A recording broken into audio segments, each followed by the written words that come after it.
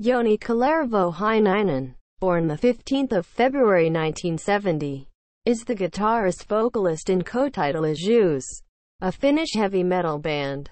He also writes the band's music along with his bandmates, and contributes majority of the lyrics.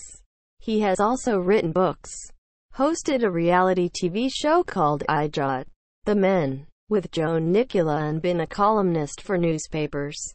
He is known not only for his desperate and dark lyrics and his extraordinary looks and attitude, but also his sense of humor, which can be seen, for example, in NO SORI, where Hynynen is the special editor-in-chief.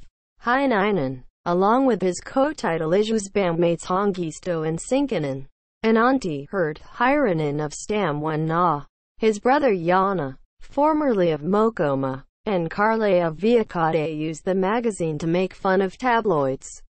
Among other things, Hynynen lives currently in Lappeenranta with his wife and child. He has also been in a band called Pronssinen Pokaali during 1995 to 2000. He has also done several guest appearances, for example in Nightwish, on Once, and in Viikate, on Vuoden synkin juhla and Unholan Urut.